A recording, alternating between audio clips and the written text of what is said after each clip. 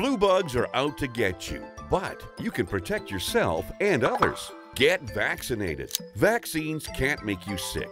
They contain a weakened form of the virus. If you feel tired and achy after getting your flu shot, that's a good sign. Your body is working to produce antibodies that will defend you. Getting your flu shot helps protect yourself and the vulnerable members of your family and community. Find a flu clinic near you at northernhealth.ca.